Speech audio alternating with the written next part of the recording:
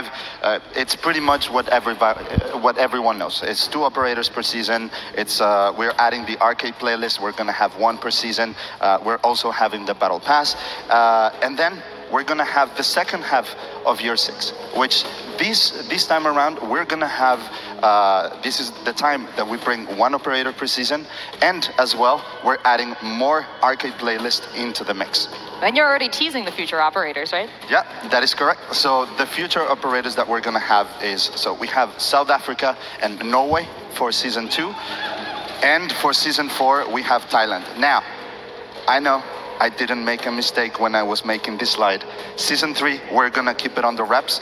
It's uh, it's a little surprise that we're cooking for all of you, so I hope you guys like it. So stay tuned. Well, you can have your surprises, Roy, but there's still some juicy information on that slide. I'm talking about the map reworks. We were introduced to the uh, map rework for Oregon yesterday, but I saw three more reworks on there. The first one looking like House. Yep, yep, absolutely. House. Yep. Yeah, so, uh, boom. I guess I like it. I don't think I need to say more. Uh, Good I mean- job, Roy. Yeah. That's great. Uh, the reality of House is that it's a it's a casual rework. Uh, basically, what? Okay. Basically, what uh, what we're doing is just we're just making it a little bit bigger. We're adding an extra set of stairs. Keep going, man. I love Keep what going. you've done with the place. Yeah, and uh, so so again, it's uh, we're rebalancing also the. Um, it's a little bit. Anyway, it's a great rework. We're very excited for people to jump in and play it on season two. Sounds like they're pretty excited too. It is.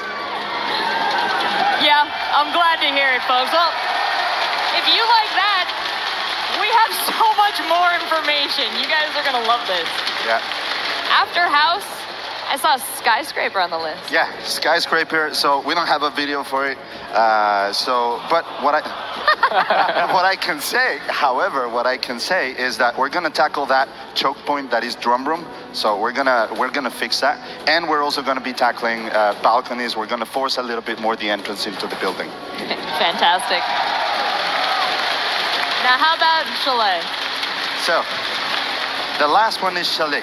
And uh, Chalet, this is one that, uh, you know, the team is still unpacking and seeing what they have to work with, but we know that we want to ease some of the frustration that we have on the floors, so that is going to be tackled. And of course, all of these uh, map reworks come with, as well, balancing of the objectives, so, you know, let's keep things spicy from now on. Keeping it spicy. I love it. Absolutely. Anything else you can tell us about the map reworks? Um, well, not really about the map reworks, but also about about the seasons in general. You know, health updates, behavior, all of that is still gonna come every season, as always. All right. Well, thank you so much, Roy, for those insights. Very exciting.